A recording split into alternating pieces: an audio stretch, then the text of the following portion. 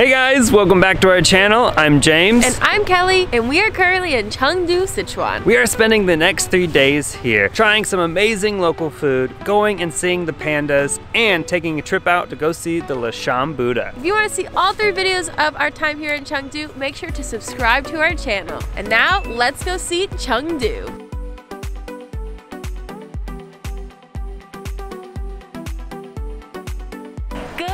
From Chengdu.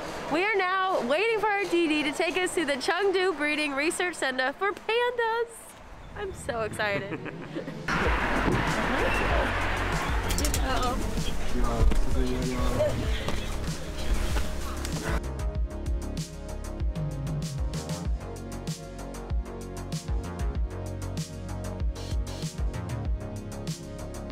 So for our trip to Chengdu, uh, neither of us knew if we wanted to actually come to the giant panda research base because I personally don't like seeing animals in captivities and I've never been a fan of the zoo.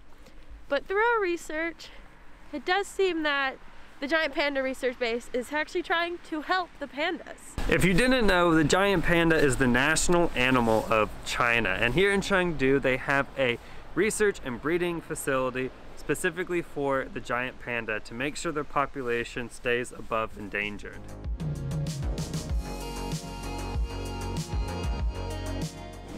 We made it inside the park and now I think we just walk around.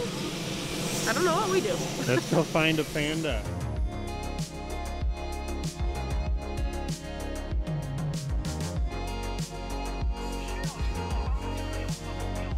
So we are inside the park and this place is huge. We're not really sure where we're supposed to be going, where to see the pandas. Like it says this is made to look like their natural habitat. So are they just like wandering or are they in an enclosed space? Not really sure where to go. We're just gonna walk.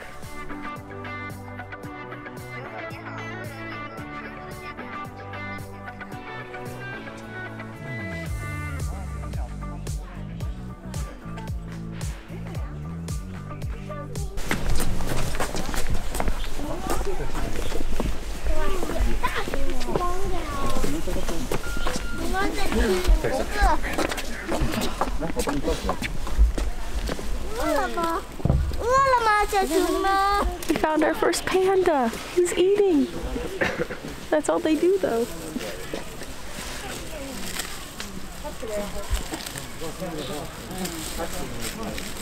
Within the park, they have these enclosed places, which when it gets really hot, the pandas will go and um, I guess play and eat as well and cool down because they don't like the hot weather. And we just walked up and there's a panda chilling on the windowsill with just food all around him. He's just chilling, eating up. It's so, so adorable. We're coming up to our third panda now. This panda's name is Ying Ying. Oh, born in 2008. This one's also inside another in, uh, inside enclosure. So, and it's also right next to the window. We definitely purposely placed the food right from the window. Yeah, they definitely do. Just purposely place their food there. As he's eating, he's collecting leaves one by one in his mouth until he gets a big clump of them. And then he'll take them out with his paw and just eat them, just munching on them. As you walk through the park, you are surrounded by bamboo and like a forest feel, kind of like you are in nature. And lucky for us, there are not a lot of people right now. We did come on a Thursday. Thursday. So we just walked up to the red panda encounter and unfortunately a guy asked and the guard told them there are no red pandas today. They are getting their vaccines and so we can't see them unfortunately, which is really sad. I was really excited to see a red panda for the first time, but oh well, let's go and find other pandas. We saw from a distance while watching that panda another panda in another enclosure climbing up a tree so we're gonna go run over there real quick and see if we can catch him still in the tree. As you can see, panda's doing anything gets a crowd. And look at them. So there are two pandas that just chilling, sleeping up there. lounging in the tree. We're at the giant panda enclosure and there's three pandas and they're just playing on this branch. So adorable. they just keep climbing up on the branch and then they push each other off and then they fall off as they're trying to push the other person.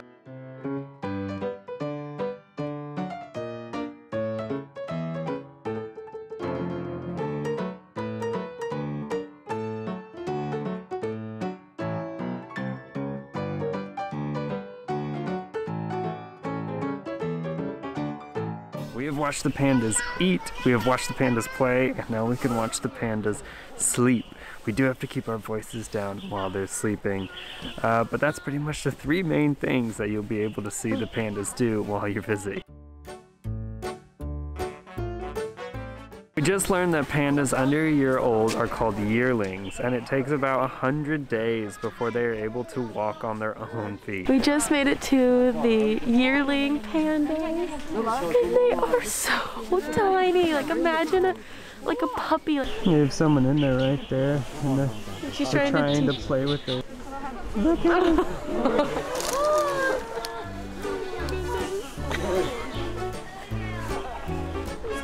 She's carrying the panda.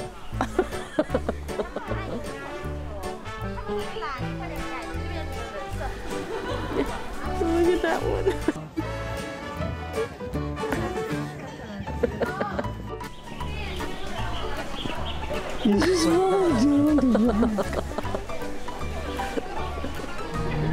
The little buddies in the corner. Oh, he's he's climbing climbing. the tree. He's doing it. I think this has probably been one of our favorite spots right so far. These are the yearling, the baby pandas basically, and they're all out and they're playing with each other and they're super active. Uh, compared to the giant pandas, which were all just either eating or kind of sleeping now, they're all still up and just running around, climbing. It's super adorable to watch. So within the enclosure, there is a lady that is just kind of making sure they don't fall and hurt themselves, and ch- they're chasing her. And I think she's just like being there to help them. Maybe I don't know how it's helping them adapt or anything, but they just has to play with them. She get like if they get too close to each other, she just picks them up and like drags them. Oh, it's so cute. Right next to the baby panda enclosure, there are two giant pandas, and these pandas are huge. You can see one in the tree right there, and then there's one walking up uh, in this one.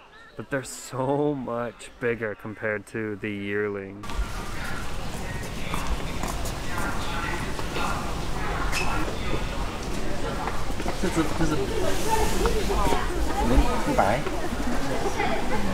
So each of the giant pandas have their own like enclosure. So they're all boarded off by these like cement rainforest plant things. and all of the giant pandas are sleeping on their wooden platforms. I guess it's sleepy time now. That one's sleeping. That one's sleeping. That one's kind of been awake. To me, they look like exactly like those big plush stuffed animals that you would like get for someone on Valentine's Day, like the ones that you could just like sit into. Like they they look exactly like those. They make you want to just. I just want like want to cuddle them, even though it says on the sign that animals are very dangerous. I don't know how. Like I don't think they move fast though. like how are they dangerous?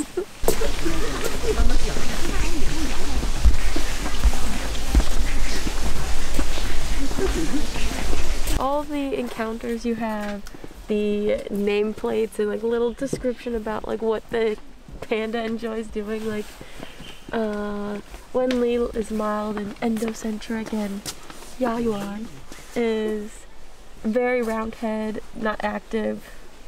She likes to clean herself and always cleans her head and face. It's so cute to give them a little personality. Like they do make them a pet rather than like it feels actually getting ready to go back into the wild. It's more like pet wise. It's just this random peacock in this panda enclosure. The panda's sleeping up there behind that tree, and there's the peacock.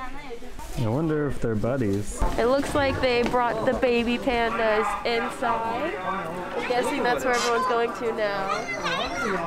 I guess it's their playtime or nap time. Nap time.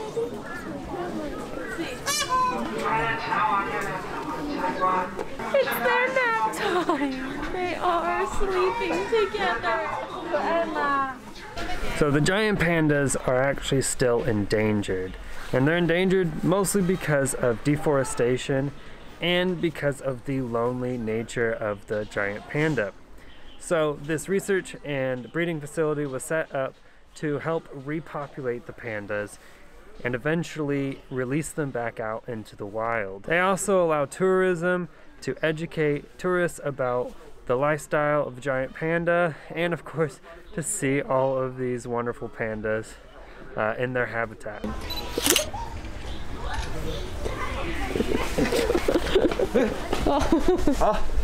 We are off to the second giant panda enclosure, and this place is huge. We've been here since 9 o'clock in the morning, and it's about noon now. Mm-hmm. We still haven't seen all the pandas.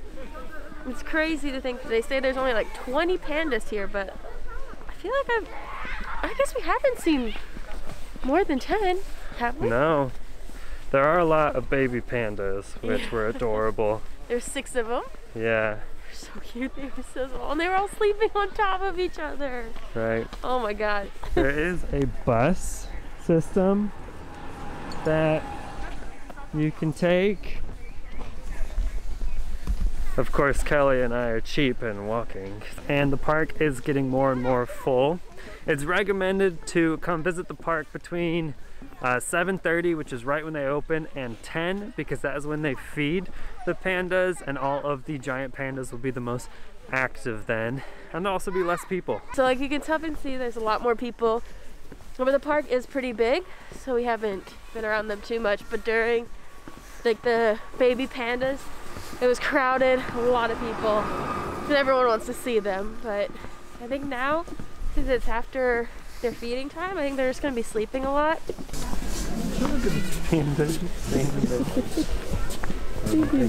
oh, he's taking a major dump. These people are watching the panda taking dump.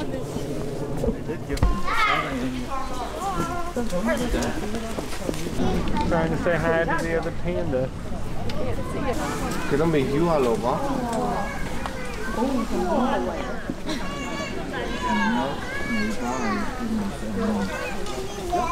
You can tell just how lazy these pandas are because they'll take like five steps and then they just fall right back down to go back to sleep.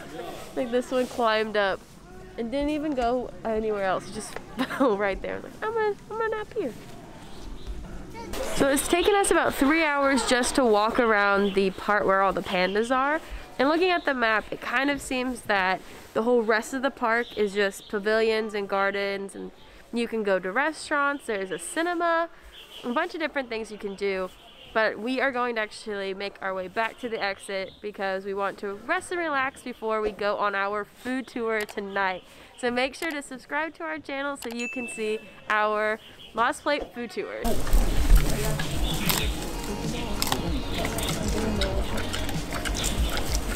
哈哈哈